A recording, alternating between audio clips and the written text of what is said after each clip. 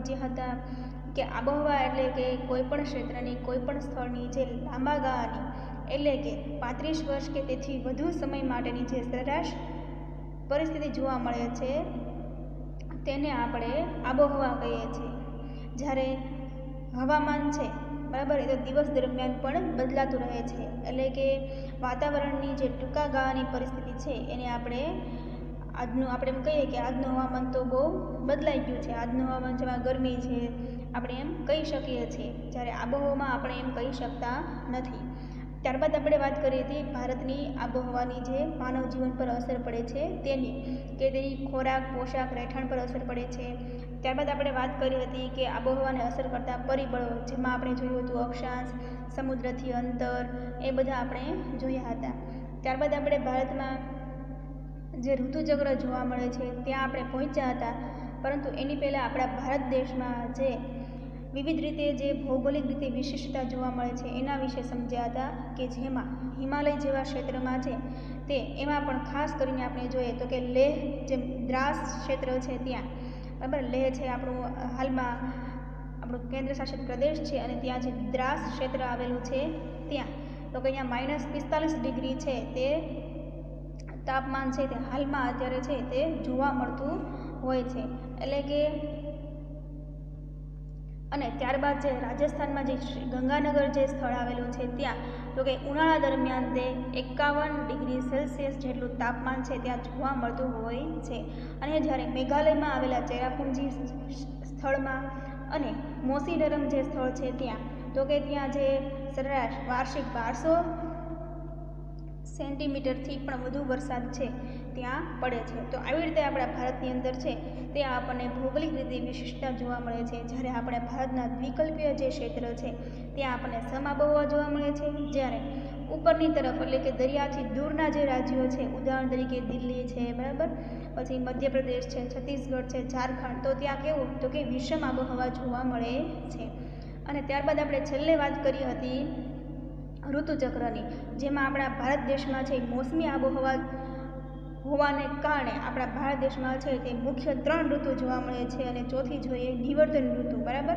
તો એમાં આપણે વાત કરી હતી શિયાળો કે જે ડિસેમ્બરથી ફેબ્રુઆરી સુધી હોય ઉષ્ણ ઋતુ એટલે કે ઉનાળો જે માર્ચથી મે મહિના સુધી હોય, વર્ષા ઋતુ એટલે કે ચોમાસું જે જૂનથી સપ્ટેમ્બર સુધી હોય અને છેલ્લે જોયું હતું નિવર્તન ઋતુ, એટલે કે પાછા ફરતા મોસમી પવનોની ઋતુ, જે ઓક્ટોબરથી નવેમ્બર સુધી હોય છે.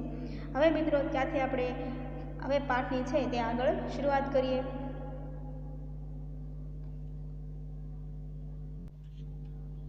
તો આપણે સૌથી પહેલાં જોઈએ શીત ઋતુ, એટલે કે ડિસેમ્બરથી ફેબ્રુઆરીનો મહિનો છે, ત્યારે જે શિયાળો જોવા મળે છે, એની ઋતુ આપણે જોઈએ શિયાળો, એટલે કે ઠંડી ઋતુ, શીત ઋતુ, શીત એટલે કે ઠંડુ. બરાબર?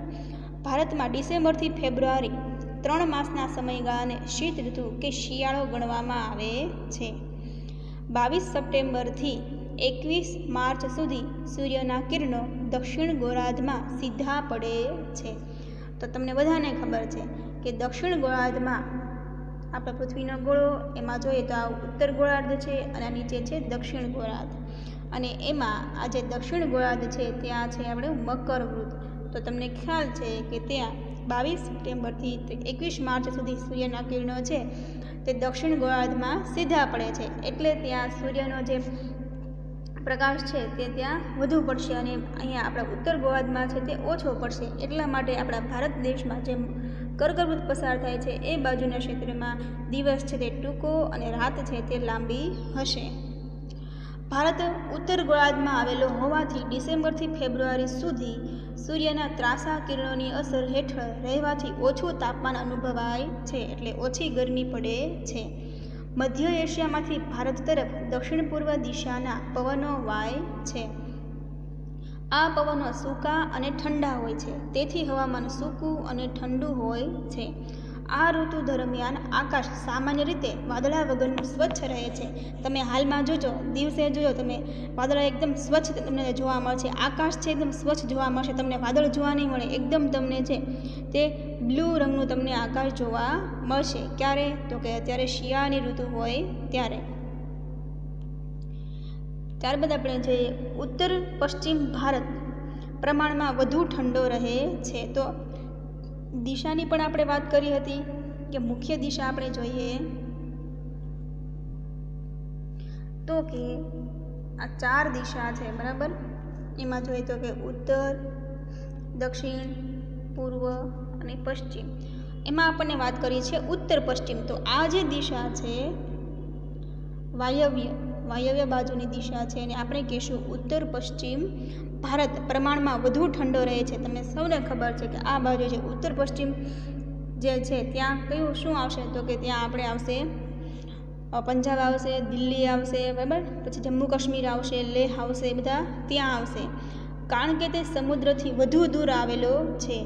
તેને અમુક ભાગ રણ પ્રદેશ છે. તેનો અમુક ભાગ એટલે રાજસ્થાન. રાજસ્થાન પણ આ જ ક્ષેત્રમાં આવશે.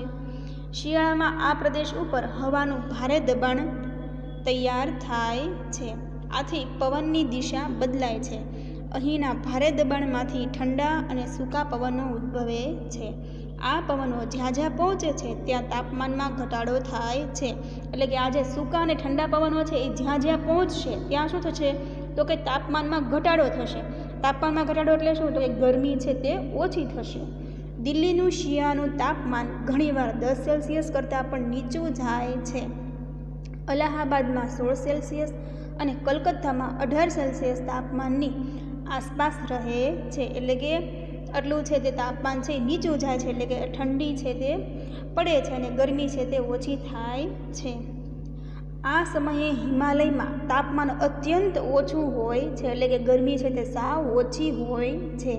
શિમલા દાર્જિલિંગનું જાન્યુઆરી માસનું તાપમાન પાંચ સેલ્સિયસ જેટલું હોય છે, એટલે કે ખૂબ જ ત્યાં ઠંડી હોય છે. હિમાલયમાં જ્યારે હિમવર્ષા થાય છે, ત્યારે ત્યાંની ઠંડી અને ભારે હવા ઉત્તર ભારતના મેદાન તરફ ધસી આવે છે.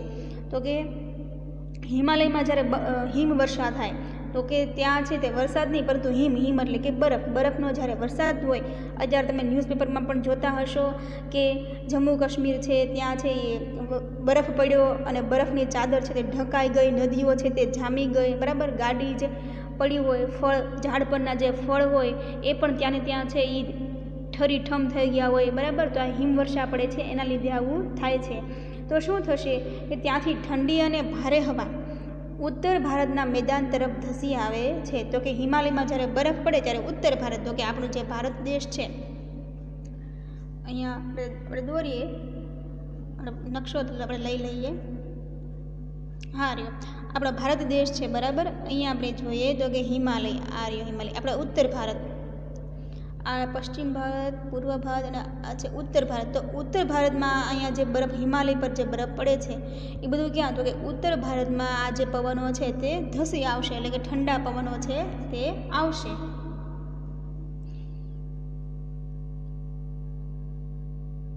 ઉત્તર ભારતના મેદાન તરફ ધસી આવે છે. પરિણામે આ મેદાનો સહિત રાજસ્થાન અને ગુજરાતમાં ઠંડીનું મોજું ફરી વળે છે. તો કે ઠંડી આપણને લાગે છે. કયા કયા રાજ્યમાં તો કે રાજસ્થાન અને ગુજરાતમાં ઠંડીનું મોજું ફરી વળે છે. તાપમાનમાં એકાએક ઘટાડો થાય છે. એટલે આપણે જોઈએ તો કે રાત્રે જોઈએ તો કે ખૂબ જ ઠંડીવાળો પવન એટલે ખૂબ જ ઠંડો પવન આપણને વહેતો હોય એવું લાગે છે અને જેમ જેમ રાત વધુ પડતી જાય તેમ તેમ છે તે વધુ ઠંડીનું પ્રમાણ વધતું જાય છે ને જ્યારે સવાર થાય ત્યારે તમે અનુમાન કર્યું હશે કે તમારા જે છાપરા હોય ત્યાં ઝાકળ તમને જોવા મળશે, બરાબર? કેટલાક ભાગોમાં હિમ પડતા કપાસ જેવા પાકને નુકસાન પણ થાય છે. અલબત્ત શીત ઋતુમાં ઊંચા પર્વતીય વિસ્તારો સિવાય ભારતમાં તાપમાન ઠાર બિંદુથી નીચું જતું નથી. એટલે કે ઠારી નાખે એના કરતાં નીચું જતું નથી. એટલે કે સાવ ઓછું તાપમાન જતું નથી. એટલે કે ખૂબ જ આપણને ઠંડી લાગે એવું થતું નથી. કારણ, તેનું કારણ શું છે? કારણ કે હિમાલયની ગિરિમાળાઓ મધ્ય એશિયા તરફથી આવતા અતિશય ઠંડા પવનોને રોકે છે અને ભારતને સખત ઠંડીથી બચાવે છે. એટલા માટે જ હિમાલયને ભારતનો સંતરી કહેવામાં આવ્યું છે. હવે ત્યારબાદ આટલું જાણવું ગમશે. હવે જાણવા જેવું છે એને આપણે વાંચી લઈએ. બરાબર? તો આ જાણવા માટેનું જ છે. તો એ આપણે વાંચી લઈએ. ભારતમાં હવામાન બાબતે સમાચાર પત્રોમાં વારંવાર આવતા કેટલાક શબ્દોને ઓળખીએ. તો સમાચાર પત્રો એમાં આવતું હોય કે જેટ સ્ટ્રીમ આવ્યું. વેસ્ટર્ન ડિસ્ટર્બ જે છે તે અત્યારે શરૂ છે. બરાબર? પશ્ચિમી વિક્ષોભ શરૂ થયો છે. એવું બધું તમે ઘણી વખત છાપામાં છે તે જોતા હોય છે. તો આપણને ખ્યાલ ન આવે કે એ પશ્ચિમી વિક્ષોભ એટલે શું? એ જેટ સ્ટ્રીમ એટલે શું? તો ચાલો મિત્રો એના વિશે જોઈએ આપણે. બંને ગોળાર્ધમાં આશરે ત્રીસ સેલ્સિયસ અક્ષાંશની આસપાસ આઠથી પંદર કિલોમીટરની ઊંચાઈના વાતાવરણમાં સર્પાકાર પટ્ટામાં અત્યંત વેગીલા પવનો વાતા જોવા મળે છે. બંને ગોળાર્ધ એટલે મિત્રો ઉત્તર ગોળાર્ધ અને દક્ષિણ ગોળાર્ધ. પૃથ્વીના બંને ગોળાર્ધની વાત કરી છે, ઉત્તર ગોળાર્ધ અને દક્ષિણ ગોળાર્ધ. આ પવનો જેટ સ્ટ્રીમ કે જેટ પવનો તરીકે ઓળખાય છે. જેટ સ્ટ્રીમની સરેરાશ ઝડપ કલાકના આશરે દોઢસો કિલોમીટર જેટલી છે અને આ પવન પટ્ટાની મધ્ય ભાગમાં પવનોનો વેગ ચારસો કિલોમીટર જેટલો રહે છે. શિયાળામાં આ પવનો હિમાલયના દક્ષિણ ઢોળાવો ઉપર વાય છે. અને ઉનાળામાં તે દ્વિકલ્પીય ભારત તરફ સ્થિર થયેલા હોય છે. વધુ ઊંચાઈએ વાતા આ પવનો વરસાદ લાવવામાં મદદરૂપ થાય છે. તો આ વાત કરીએ આપણે જેટ સ્ટ્રીમની, બરાબર? કે જે ભારતમાં છે તે વરસાદ લાવવા મદદરૂપ થાય છે. ત્યારબાદ આપણે જોઈએ પશ્ચિમી વિક્ષોભ. પશ્ચિમ એશિયા ઉપર રચાતો જેટ સ્ટ્રીમ પૂર્વ દિશામાં વાય છે. તેની અસર પશ્ચિમ એશિયાના દેશો કયા ગયા? તો કે ઉત્તર પશ્ચિમ ભારત, પાકિસ્તાન તથા અફઘાનિસ્તાન ઉપર વર્તાય છે. આ પવનોની સાથે આવતા ધૂળના તોફાનો છેક બાંગ્લાદેશ સુધી તેમની અસર પહોંચાડે છે. તો પશ્ચિમ એશિયા તરફ, બરાબર? આપણો ભારત દેશ છે. તે આપણે એશિયા ખંડ, ઉદાહરણ તરીકે આપણે એવી રીતે એશિયા ખંડ જોઈએ. તમને ચોરસ રીતે આપણે એમ દર્શાવીને જોઈએ. દિશા આપણે જોવી છે એટલા માટે.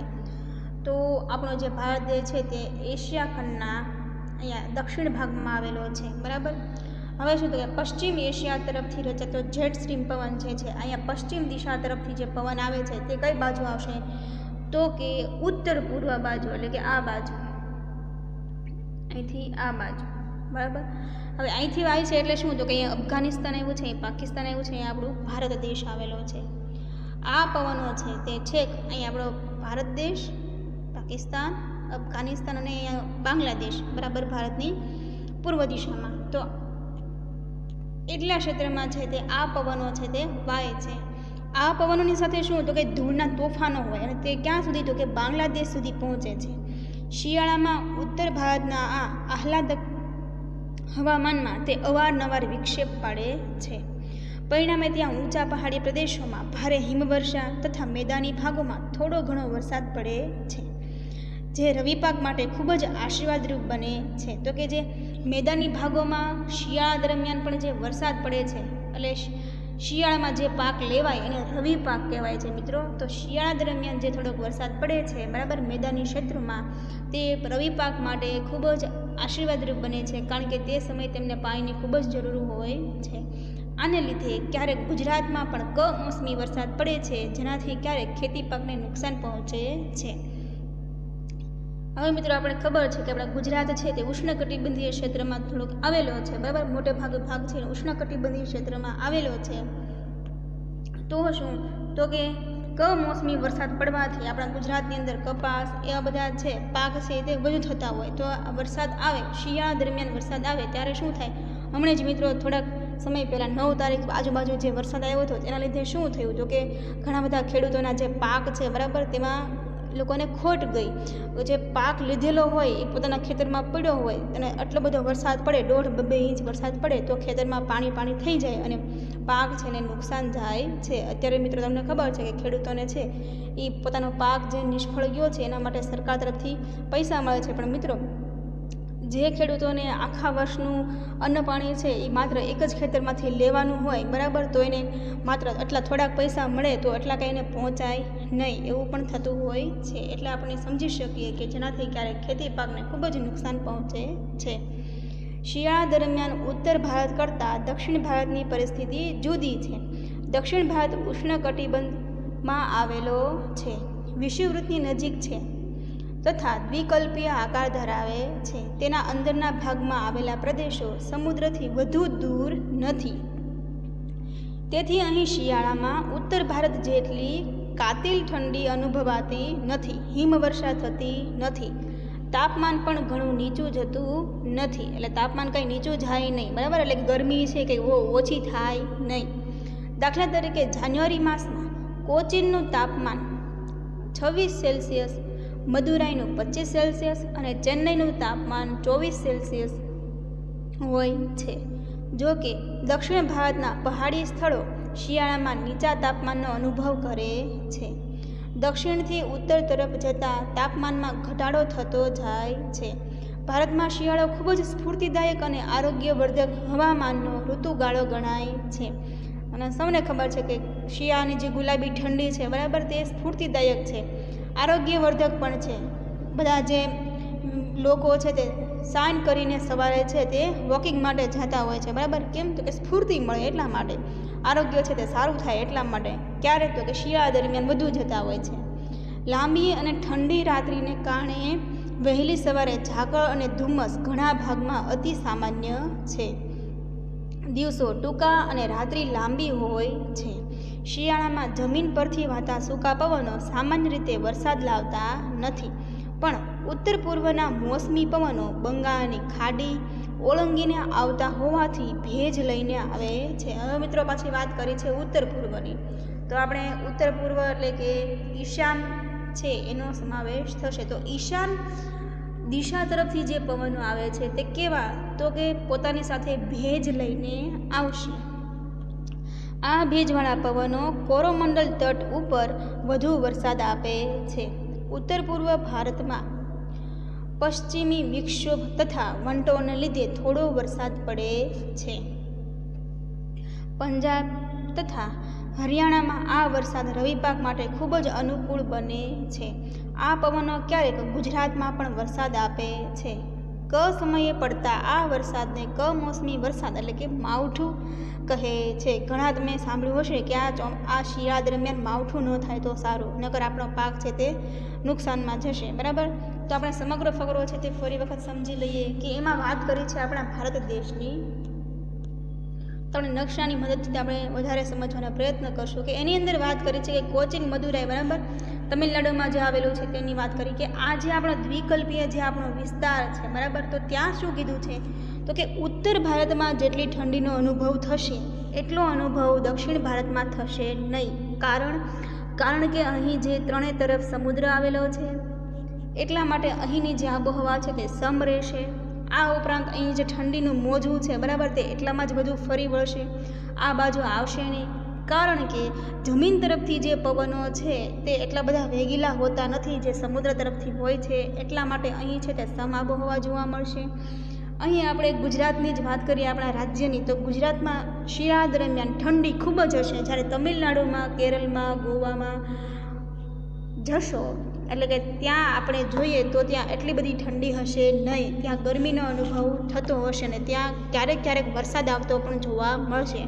ત્યારબાદ વાત કરીએ છીએ કે ઉત્તર પૂર્વ તરફથી એટલે કે આ બાજુ તરફથી, ઈશાન દિશા તરફથી જે પવનો આવે છે તે શું? તો કે પોતાની સાથે ક્યારેક ક્યારેક ભેજવાળા પવનો લઈને આવે છે ને વરસાદ પણ લાવે છે કે જે પવનો અહીંયા અસમ મેઘાલય અરુણાચલ પ્રદેશ ત્યાં તો પડે જ છે, પરંતુ તે ધીમે ધીમે થોડા થોડા છે તે પંજાબ સુધી પણ પહોંચી જાય છે. પંજાબ, હરિયાણામાં અને ત્યાં ઘઉંના પાકને છે તે ખૂબ જ સારો એવો એનાથી નફો થાય છે એની વાત કરી છે.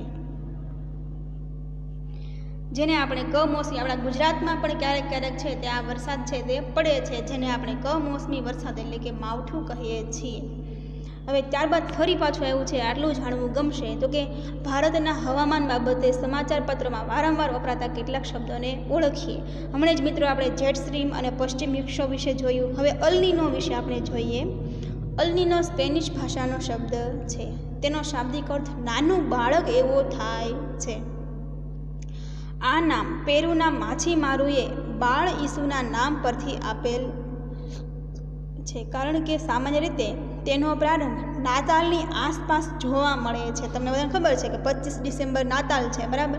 તો ક્રિસમસ છે, તો એની આસપાસ જોવા મળે છે. શું? તો કે અલનીનો છે તે. વાતાવરણીય તથા સામુદ્રિક અસરોથી દક્ષિણ અમેરિકાના પેરુ દેશની પશ્ચિમે પેસિફિક મહા કિનારાના નજીક ગરમ પ્રવાહ ઉદ્ભવે છે. આ પ્રવાહ પશ્ચિમ તરફ વહે છે અને તેની અસર ભારત સુધી અનુભવાય છે. અલ્નીનો નામની વિશિષ્ટ ઘટના ક્યારેક આકાર લે છે. જ્યારે જ્યારે અલ્નીનો ઘટના બને છે, ત્યારે ભારતની વર્ષા ઋતુના સમયગાળામાં તથા વરસાદના પ્રમાણમાં ઘણો ફેરફાર થાય છે. તો અહીં મિત્રો વાત કરી છે સ્પેનિશ, બરાબર? તો ત્યાંની છે. અને આ છે, તેની અસર ક્યારે? તો કે દક્ષિણ અમેરિકાના પેરુ દેશની પશ્ચિમે, જે પેસિફિક કિનારો છે ત્યાં, બરાબર? તો અમેરિકા જે દેશ છે, એ દક્ષિણ અમેરિકા, ઉત્તર અમેરિકા અને બીજો ખંડ છે દક્ષિણ અમેરિકા. અહીંયા જે આવ્યો છે ઉત્તર અમેરિકા, એની નીચે જ આવી રીતે આકાર આપીને આવેલો છે અહીંયા. આમ છે દક્ષિણ અમેરિકા. તો દક્ષિણ અમેરિકામાં જે પેરુ દેશ છે, એને પશ્ચિમે, પેસિફિક કિનારા નજીક, બરાબર પશ્ચિમે આ બાજુ, એ છે એ ગરમ પ્રવાહ ઉદ્ભવે છે. અને તમને ખબર છે પૃથ્વી ગોળ છે, બરાબર? અને એ ફરી ફરીને પછી પેસિફિક મહાસાગર છે તે વચ્ચે છે. પછી તે આપણા ભારત દેશ સુધી પણ એની અસર છે તે અનુભવાય છે અને એના લીધે શું થાય છે? તો કે વર્ષા ઋતુના સમયગાળામાં અને વરસાદમાં પ્રમાણમાં પણ ઘણો ફેરફાર થાય છે. ક્યારેક વરસાદ છે તે વધુ થાય છે, ક્યારેક વરસાદ છે તે ઓછો થાય છે અલ્નીનોની ઘટનાને કારણે. ત્યારબાદ જોઈએ આપણે આઈટીસી ઝોન. વ્યાપારી પવનો જ્યાં ભેગા થાય છે, ત્યાં વિષુવવૃત્ત ઉપર વિશાળ હળવું દબાણ ક્ષેત્ર રચાય છે. તેને આંતર ઉષ્ણકટિબંધીય અભિસરણ ક્ષેત્ર એટલે મિત્રો આખું નામ અંદર આપ્યું છે ITC zone inter tropical convergence zone કહે છે. આ વ્યાપારી પવનોના પ્રવાહ સ્વરૂપે ઊંચા ચઢે છે. પવનોના પ્રવાહ સ્વરૂપે તે ઉપર ચડે છે.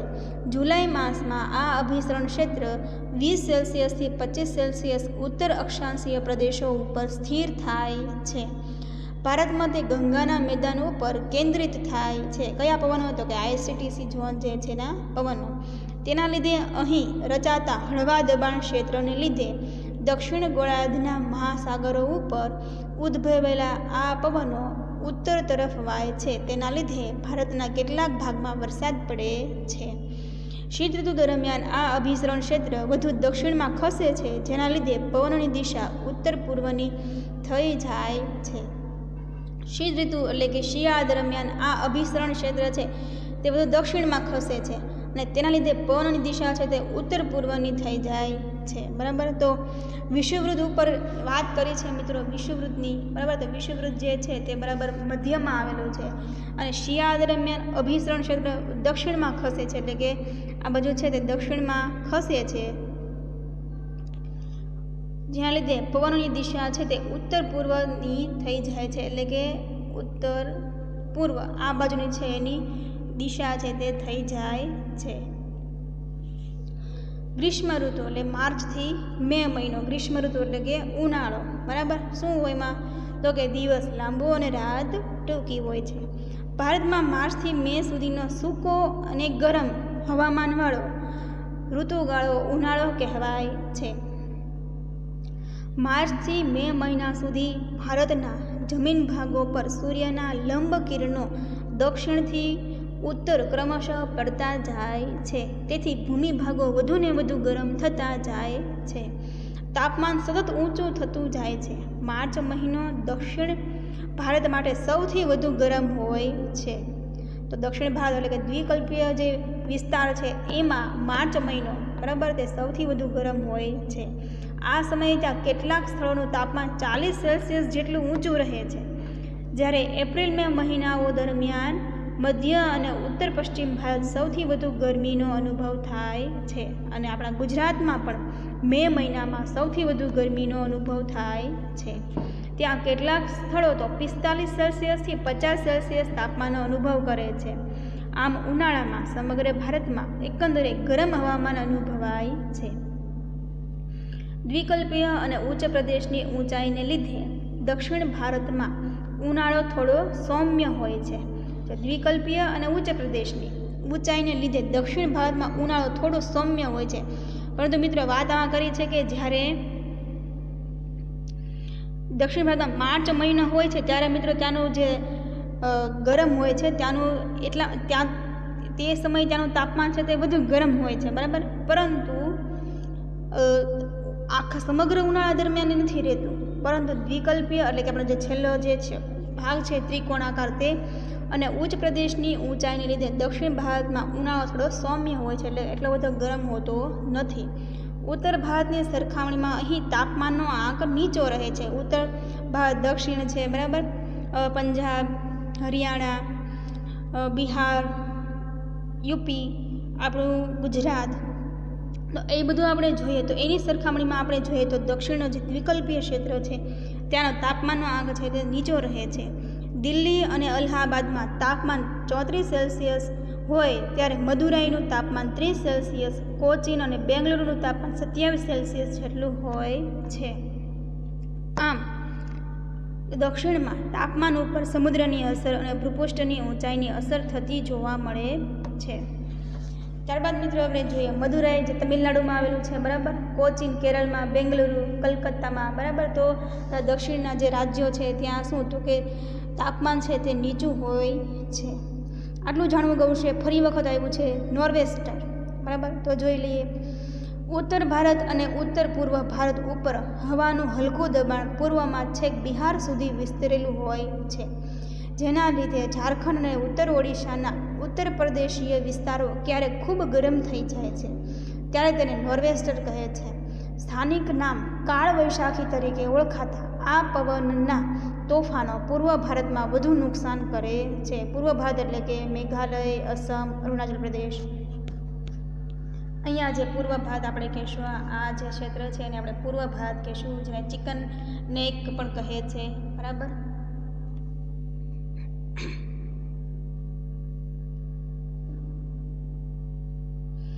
ત્યારબાદ જોઈએ શબ્દ લુ. તો પશ્ચિમ અને ઉત્તર પશ્ચિમ ભારતના સૂકા જમીન ભાગોમાં ધૂળની ડમરીઓ કે ધૂળના તોફાનો અહીં સામાન્ય છે. મિત્રો, વાત કરી છે આપણા ગુજરાત આજુબાજુના રાજ્યોની. ઉનાળામાં ખાસ કરીને મે મહિનામાં ઉત્તર ભારતમાં અતિ ગરમ પવનો ફૂંકાય છે, જે લૂ તરીકે ઓળખાય છે. તેની અતિશય ગરમીથી મનુષ્યો, પશુ પંખીઓ, મૃત્યુને ભેટે છે. મિત્રો, તમે ઘણી વખત જોયું છે અને તમે પેપરમાં પણ જોતા હશો કે ચકલીઓ માટે પાણીના કુંડાનું વિતરણ કરવામાં આવ્યું, માનું વિતરણ કરવામાં આવ્યું, બરાબર? પછી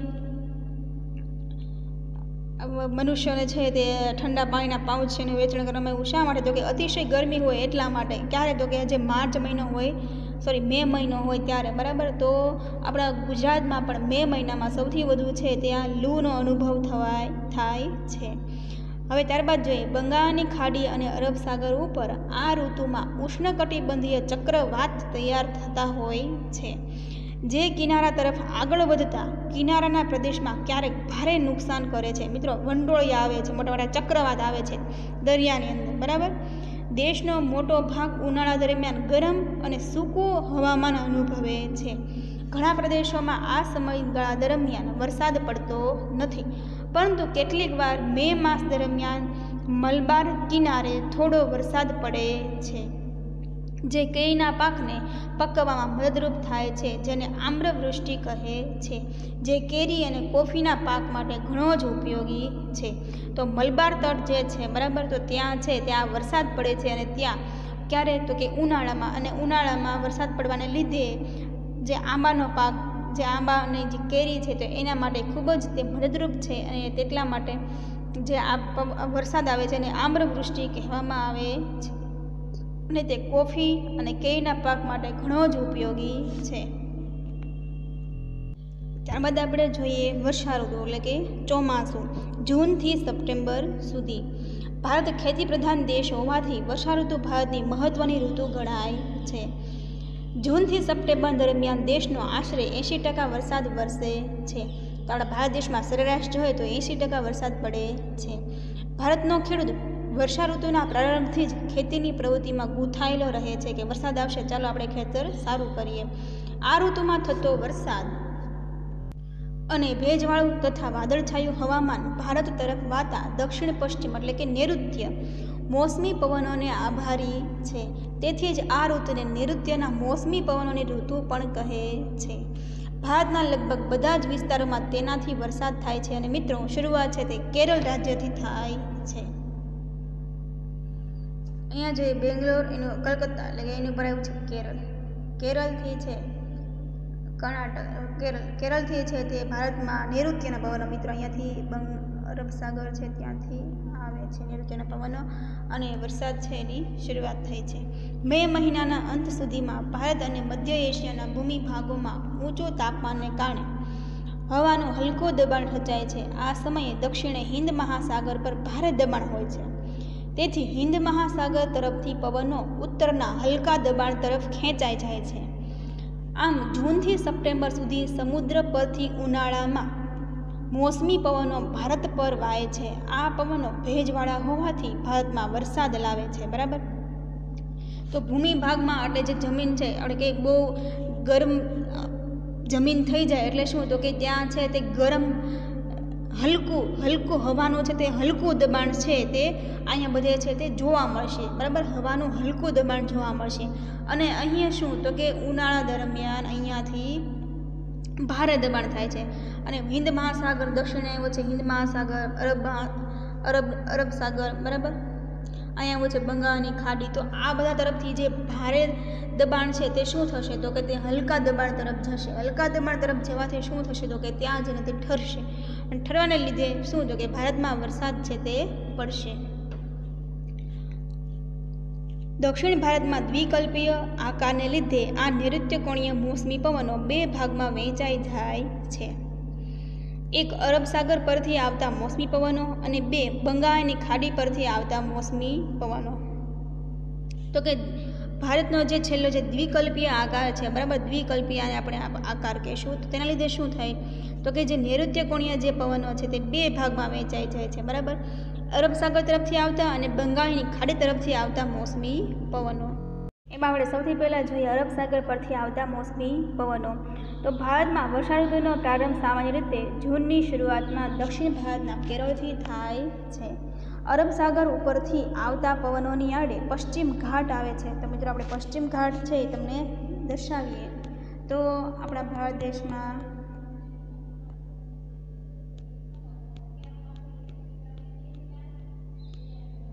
આર્ય પશ્ચિમ ઘાટ, બરાબર? આપણા ગુજરાત, ગુજરાતની નીચે ગોવાથી લઈને છેક તમિલનાડુ સુધીનો જે ભાગ છે તે પશ્ચિમ ઘાટ છે. અહીંયા તમને વિગતવાર કીધું છે કે નોર્થન, બરાબર? એટલે કે ઉત્તરનો પશ્ચિમ ઘાટ, મધ્યનો પશ્ચિમ ઘાટ અને દક્ષિણનો પશ્ચિમ ઘાટ.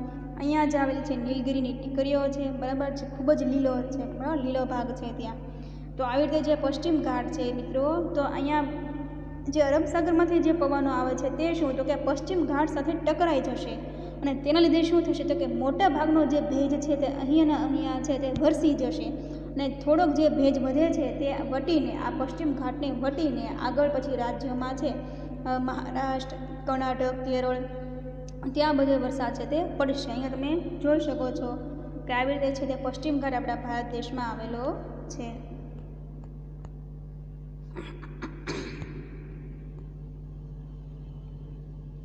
પશ્ચિમ ઘાટ ઓળંગીને આ પવનો જ્યારે દ્વિકલ્પીય ઉચ્ચ પ્રદેશ ઉપર પહોંચે છે, ત્યારે તેમાં ભેજનું પ્રમાણ ઘટી જાય છે. તેથી તે વિસ્તારોમાં વર્ષા છાયને લીધે ઓછો વરસાદ પડે છે, કારણ કે મોટાભાગનો વરસાદ છે તે ક્યાં આવી ગયો હોય તો કે પશ્ચિમ ઘાટની આ બાજુ, એટલે કે આ પેલે પાર છે તે વરસી ગયો હોય, બરાબર? આ બાજુ જ વરસી ગયો હોય અને આ બાજુ ઓછો વરસાદ આવશે.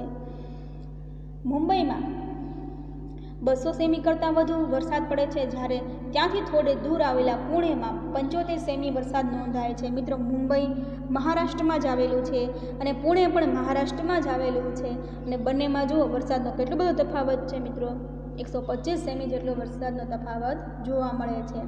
પશ્ચિમ કિનારેથી ઉત્તર તરફ જતાં કેરળ, કર્ણાટક, કેરળ સોરી કેરળ અહીંયા આવશે. કેરળ, કર્ણાટક, ગોવા, મહારાષ્ટ્રમાં વરસાદનું પ્રમાણ ક્રમશઃ ઓછું થતું જાય છે. આ મોસમી પવનોનો એક ફાંટો નર્મદાના ખીણ પ્રદેશના માર્ગે મધ્યપ્રદેશમાં ધીમે ધીમે અહીંયા મધ્યપ્રદેશમાં પહોંચે છે. પવનના આ ફાટા સાથે આગળ જતાં બંગાળની ખાડી પરથી આવતા પવનો ભળી જાય છે. હવે બંગાળની ખાડી પરથી જે પવનો આવતા હશે તે પણ હવે આ અરબ સાગરના પવનો સાથે અહીંયા ભળી જશે. આ ઉપરાંત અરબ સાગરના પવનોનો એક ફાંટો ગુજરાત, સૌરાષ્ટ્ર અને કચ્છ ઉપરથી પસાર થઈને રાજસ્થાન તરફ આગળ વધે છે. તો કે આ જે પવનો જે છે અરબ સાગરના તે અહીંયા આપણા કચ્છમાં આવશે. ત્યાંથી ધીમે ધીમે વરસતા વરસતા રાજસ્થાન સુધી પહોંચશે. પરંતુ આપણા ગુજરાતમાં વધુ જંગલો ન હોવાથી, વધારે પહાડી ક્ષેત્ર ન હોવાથી વધુ વરસાદ પડશે નહીં. અને રાજસ્થાનમાં આ પવનો જ્યારે પહોંચે છે, ત્યારે શું તો કે રાજસ્થાનમાં તો વૃક્ષો સાવ ઓછા છે. એટલા લીધે, એના લીધે ત્યાં વરસાદ પડશે નહીં અને આ પવનો છે તે આગળ જતા રહેશે. તો પછી આપણને એમ થાય કે હવે આ, અહીંયા જે આવ્યું છે, પંજાબ, હરિયાણા, તો ત્યાં કેવી રીતે વરસાદ આવશે? તો મિત્રો આપણે એની આગળ વાત કરીએ. બરાબર? અરબ સાગર તરફથી નથી આવતા. તો કઈ બાજુથી? તો કે તે બંગાળની ખાડી તરફથી તે પવનો છે તે મળશે. હવે આપણે આગળ જોઈએ. ગુજરાતમાં વધુ ઊંચા પર્વતો કે ગીચ જંગલો નથી. આથી આ પવનોમાં રહેલા ભેજનું સંપૂર્ણપણે ઘનીભવન થવાની શક્યતા ઓછી રહે છે. એટલે કે વધુ કાંઈ બધા પવનો છે તે ઘનીભવન એટલે કે ઠંડા ઠરતા નથી. અને તેના લીધે શું થાય? તો કે તે વર, વરસાદ છે તે વરસતો નથી. તેથી ગુજરાતમાં ઓછો વરસાદ પડે છે. ગુજરાતમાં વરસાદ વરસાવીને આ પવનો રાજસ્થાનમાં પ્રવેશ કરે છે, ત્યારે ભેજનું પ્રમાણ ઘણું જ ઓછું હોય છે. આથી રાજસ્થાનમાં ઘણો ઓછો વરસાદ પડે છે. રણ વિસ્તારમાં તો દસ સેમી કરતાં પણ ઓછો વરસાદ પડે છે. આથી મિત્રો તમે કહી શકો કે જે ક્ષેત્રમાં દસ સેમી કરતાં પણ ઓછો વરસાદ પડે તેને આપણે રણ વિસ્તાર કહીએ. હવે ત્યારબાદ મિત્રો આપણે બીજા પવનો જોઈએ. બંગાળની ખાડી પરથી આવતા મોસમી પવનો. બંગાળની ખાડી પરથી વાતા મોસમી પવનોનો બીજો ફાંટો સૌપ્રથમ પશ્ચિમ બંગાળમાં પ્રવેશ કરે છે અને ત્યાંથી વધુ આગળ વધીને મેઘાલય સુધી પહોંચે છે. તો મિત્રો આપણે જોઈએ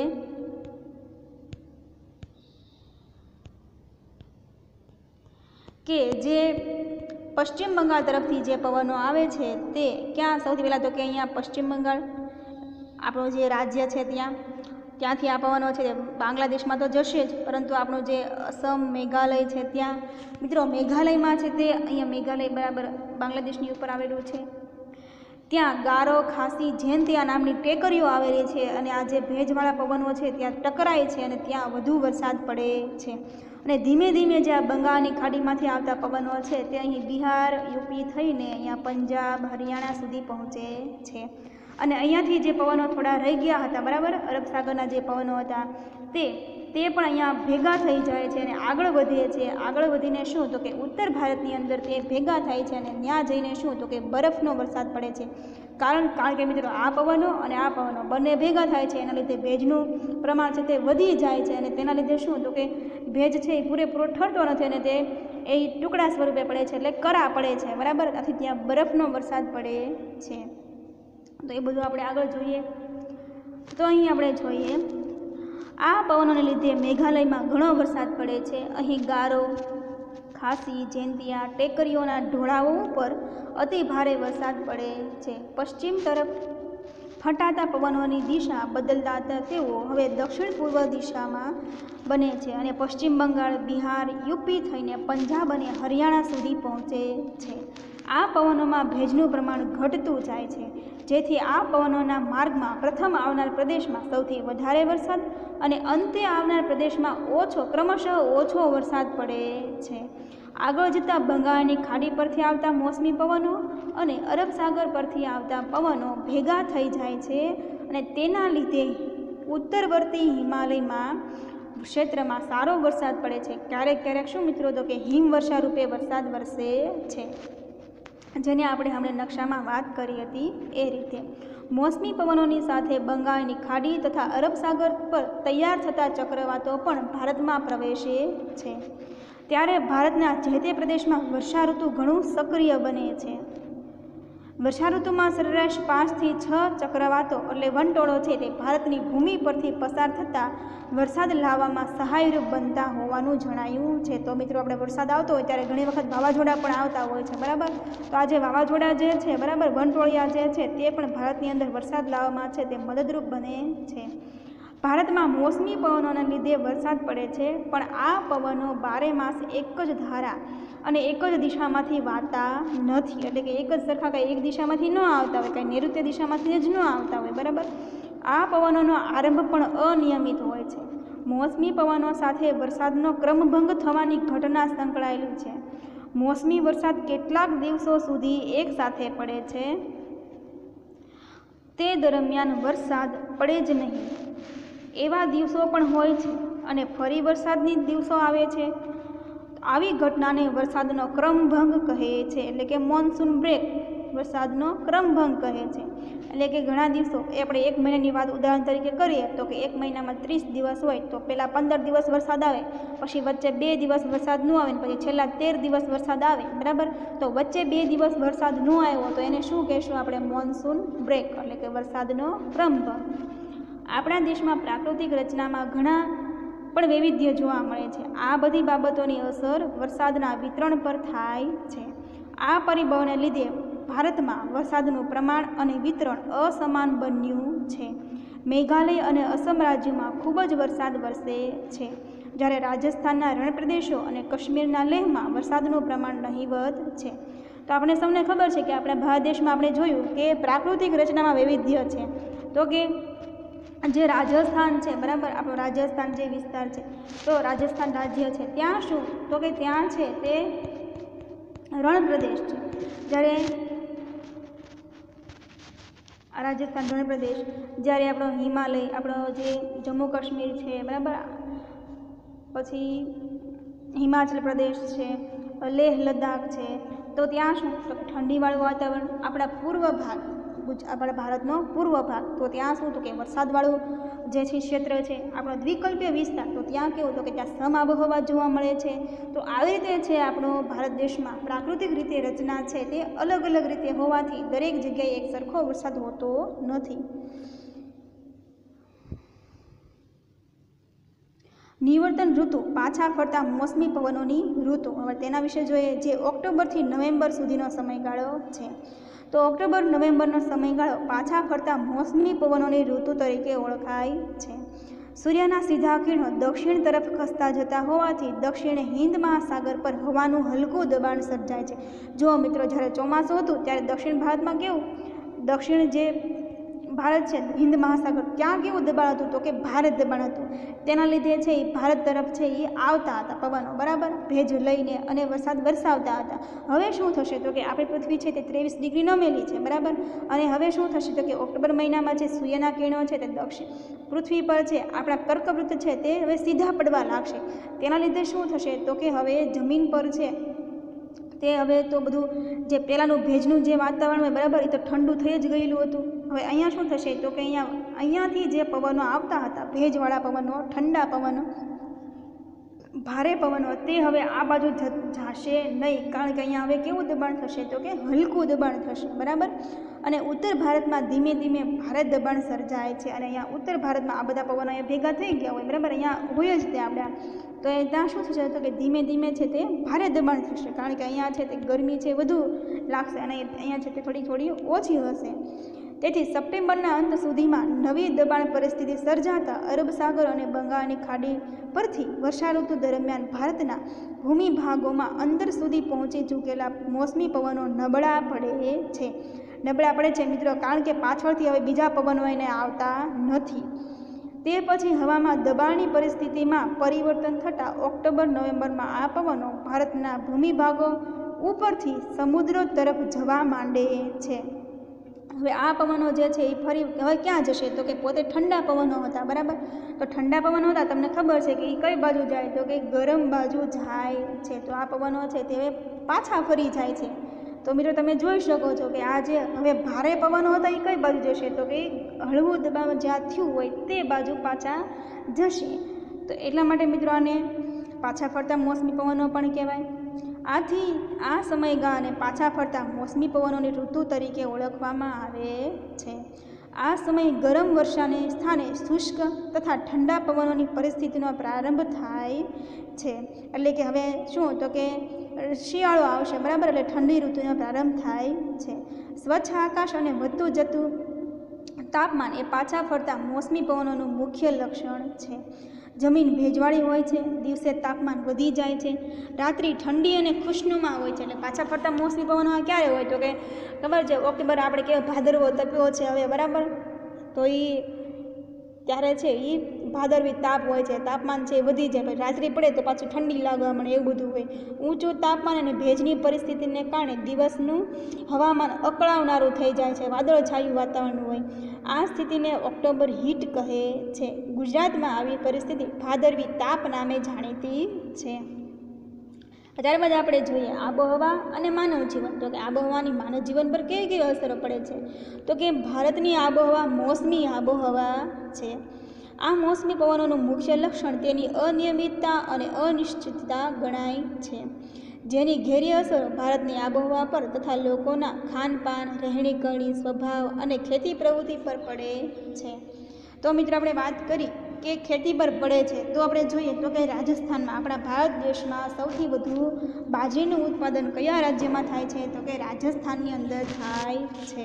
અને ત્યારબાદ આપણે ગુજરાતની આપણે વાત કરીએ તો આપણે ગુજરાતમાં સૌથી વધુ બાજરીનું ઉત્પાદન ક્યાં થાય છે, તો કે બનાસકાંઠામાં થાય છે. તો બનાસકાંઠામાં સૌથી વધુ આપણા ગુજરાતમાં છે, તે બાજરીનું ઉત્પાદન થાય છે.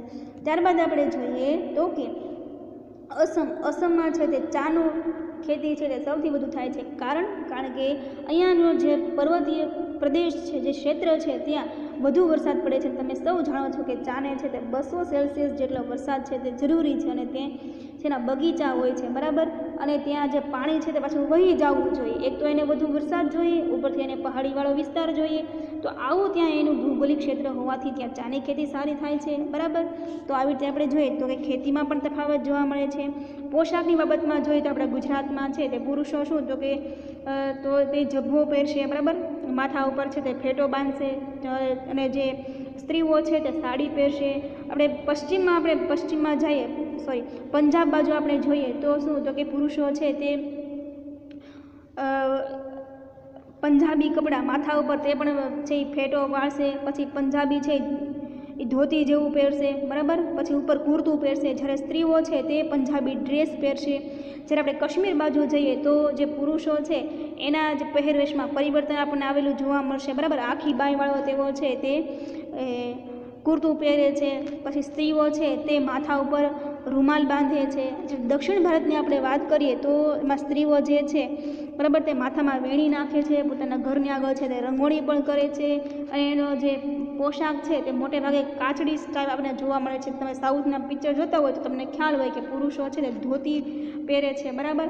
અને જ્યારે આપણે પૂર્વ ભારત તરફ આપણે જઈએ, પૂર્વ ભારત તરફ આ બધા આપણે વાત કરી લીધી. પૂર્વ ભારત તરફ આપણે જોઈએ તો ત્યાં મકાનો છે તે આપણને ઢોળાવવાળા જોવા મળશે. પુરુષો અને સ્ત્રીઓ બંનેના પહેરવેશ છે, ત્યાં આપણને આમ એ થોડાક સમાન રીતે જોવા મળશે. ત્યાં જે છે થોડીક ધોતી જેવા કપડાં પહેરશે, કારણ કે ત્યાં શું તો કે વરસાદનું પ્રમાણ વધુ હોય છે અને તેના કપડાં વારાઘડીએ પલ્લી ના જાય એટલા માટે છે તે આવા પહેરવેશ એનો જોવા મળે છે. અને ત્યાં એના પાકમાં શું વધુ જોવા મળશે તો કે ડાંગર છે તે વધુ જોવા મળશે, કારણ કે વરસાદ છે તે વધુ થાય છે અને ડાંગરને છે તે વધુ પાણીની જરૂર પડે છે. તો આવી રીતે આપણે જોઈએ તો રહેણી કહેણી ખાનપાન બધામાં પણ અસર પડે છે. એમાં એ વિશેષ કરીને ભારત ખેતી પ્રધાન હોવા ઉપરાંત મોસમી આબોહવાના સંપૂર્ણ અંકુશ હેઠળ છે. તેથી મોસમી પવનોની બધી જ અનિશ્ચિતતાઓની અસર ભારતની ખેતી પર તથા ભારતના લોકજીવન પર વર્તાય છે. આબોહવાની માનવ જીવન પર મુખ્ય અસરો આ પ્રમાણે છે. તો આપણે જોઈએ બધી અસર હતી. ભારતમાં વર્ષના મોટાભાગના સમય દરમિયાન તાપમાન ઊંચું રહેતું હોવાથી ખેતીના વિવિધ પાકો લઈ શકાય છે. પરંતુ વરસાદની અનિયમિતતાએ ઉત્પાદન અનિશ્ચિત બનાવી દીધું છે. જૂનથી સપ્ટેમ્બરના ગાળામાં જ મોટા ભાગનો વરસાદ પડી જતાં સિંચાઈની સગવડ ન હોય ત્યાં માત્ર વરસાદને આધારે જ પાક લઈ શકાય છે. તો કે જે વરસાદનો જે મોટો ભાગ છે તે ક્યાં?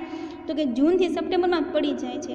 અને જે જગ્યાએ સિંચાઈની સગવડતા ન હોય એટલે કે જ્યાં પાણીનો સંગ્રહ મોટી કેનાલ કે એવી કાંઈ વ્યવસ્થા ન હોય, તો ત્યાં શું? તો કે વરસાદને આધારે જ એક પાક લેવાનો હોય છે. વર્ષા ઋતુની શરૂઆત તથા સમાપ્તિ અનિશ્ચિત હોય છે. તેથી ખેતીને ઘણીવાર યોગ્ય રીતે વરસાદી પાણી મળતું નથી.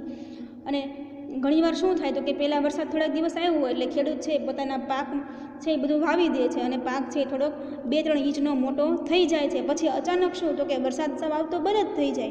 અને તેના લીધે શું થાય? તો કે આ વિલંબથી એટલે કે આ વરસાદ આવવાનું મોડું થવાથી બિયારણ કે પાક બળી જાય છે, તેથી ખેત ઉત્પાદનને અસર પહોંચે છે. તો આવી રીતે પણ થાય છે. અને ઘણી વખત મિત્રો શું થાય કે પાક છે એ ઉગી ગયો છે, બરાબર મોટો થઈ ગયો છે. હાલો લણ, લણવાનો સમય પણ થઈ ગયો છે. તમે હમણાં જ જોયું હતું, તો શું થાય? ક્યારેક અતિવૃષ્ટિ થાય છે, એટલે કે ખૂબ જ વધુ વરસાદ પડે છે. એટલે કે ઓછા સમયમાં વધુ વરસાદ પડી જાય છે અને આના લીધે પણ પાક છે તે નાશ પામે છે. એટલે કે ઉગેલો પાક, તૈયાર થયેલો પાક ખેતરમાં હોય અને ખૂબ જ વરસાદ પડે છે અને આખે આખો મોલ છે, આખો પાક છે તે ડૂબી જાય છે. જેના લીધે ખેડૂત છે તે પોતાની સામે પોતાનો મોલ, પોતાનો પાક છે તે હોવા છતાં પણ લઈ શકતો નથી અને આવી રીતે નુકસાન જાય છે. નદીઓમાં પૂર આવે છે, તેથી જમીન ધોવાણ થાય છે અને લાંબા ગાળે ખેત ઉત્પાદનમાં ઘટાડો થાય છે. વરસાદની ઋતુ પૂરી થયા પછી ખેત મજૂરો માટે આજીવિકાનો પ્રશ્ન ઊભો થાય છે. એટલે કે પોતાનું જે ખેતી તરીકે એનો જે પોતાનો શ્રમ છે એ તો હવે છે, પૂરો થઈ ગયો છે. પછી એને આજીવિકાનો, એનો જીવન જરૂરી માટે જે પ્રશ્ન છે તે ઊભો થાય છે. બારેમાસ ખેતીનું કામ રહેતું ન હોવાથી ઘણા ખેત મજૂરો શહેરો તરફ સ્થળાંતર કરી જાય છે. પછી તેઓ શહેરોમાં છે તે ધંધા માટે આવતા હોય છે. ખેતી આધારિત ઉદ્યોગો દાખલા તરીકે કપાસ, શેરડી, તમાકુ વગેરેમાં વરસાદની અનિયમિતતાથી કાચો માલ ન મળવાથી આ ઉદ્યોગોમાં મુશ્કેલી ઊભી થાય છે. તો મિત્રો, આ જે ઉદ્યોગો છે, બરાબર? કાપડ બનાવવાના જે ઉદ્યોગ હોય, બરાબર? ખાંડ, ગોળ, તો એને કાચો માલ શું? તો કે કપાસ છે કાપડ માટે કાચો માલ. શેરડી છે તો તે ગોળ છે, સાકર છે, બરાબર? એના માટે કાચો માલ છે. તમાકુ છે તો અલગ અલગ જે બધી પીણા જે બધા હોય છે એના માટે કાચો માલ. તો આ બધો છે એ ખેડૂતને ખેતીમાં આ બધા પાકની નીપજ જ ના થઈ હોય, બરાબર? તો એ કાચો માલ કંઈ આ ઉદ્યોગોને મળે નહીં. તેના લીધે શું? તો કે આ ઉદ્યોગોને પણ મુશ્કેલી પડે છે. અનિયમિત વરસાદને લીધે પીવાના પાણીને સમસ્યા પણ કપરી બને છે. રણ વિસ્તાર કે પહાડી પ્રદેશમાં જીવન હાડમારી ભર્યું બને છે. એટલે કે પાણીનું ત્યાં ટીપું પણ જોવા મળતું નથી. ઉનાળો આવે એ પહેલાં જ ત્યાં પાણી પૂરું થઈ ગયું હોય છે. રણ વિસ્તારમાં શું તો કે પાણી સુકાઈ જાય છે? પહાડી પ્રદેશમાં શું તો કે પાણી છે તે વહીને વીવું જાય છે? બરાબર? ત્યાં પાણીનો સંગ્રહ વ્યવસ્થિત થઈ શકતો નથી. આમ આબોહવાની ગાઢ અસર માનવ જીવન પર થાય છે. જેની સીધી અસર માનવ જીવનના ખોરાક, પોશાક, વ્યવસાય અને રહેઠાણ પર થાય છે. હવે મિત્રો જે જાણવા જેવું છે. બરાબર? ભારતીય હવામાન વિભાગ છે. તો એના વિશે આપણે જોઈ લઈએ. તો કે, ભારતીય હવામાન વિભાગની કચેરી આપણા દેશના હવામાન અંગેના સમાચાર રેડિયો, ટીવી, વર્તમાનપત્રો અને વેબસાઇટ દ્વારા બહાર પાડે છે. તેની સ્થાપના ઈસવીસન અઢારસો પંચોતેરમાં કોલકાતામાં કરવામાં આવેલ, એટલે કે આપણો ભારત દેશ આઝાદ નહોતો થયો એ પહેલાં કરવામાં આવેલી. તેની મુખ્ય કચેરી ઈસવીસન ઓગણીસો પાંચમાં પુણેમાં કે મહારાષ્ટ્રમાં અને હવે નવી દિલ્હીમાં ખસેડવામાં આવેલ છે. આ ઉપરાંત તેની છ પ્રાદેશિક કચેરી છે તો કે ચેન્નઈ, ગુવાહાટી, કોલકાતા, મુંબઈ અને પુણે અને નાગપુર તથા દરેક રાજ્યના પાટનગરમાં આવેલી છે. આપણું પાટનગર કયું છે? ગુજરાતનું તો કે ગાંધીનગર. તો ગાંધીનગર અંદર પણ ભારતીય હવામાન વિભાગ આવેલું છે. ભારતીય હવામાન વિભાગ દ્વારા ભારતથી લઈને એન્ટાર્કટિકા સુધી નિરીક્ષણ કેન્દ્ર સ્થાપવામાં આવ્યા છે, જેના આધારે હવામાનની આગાહી થાય છે.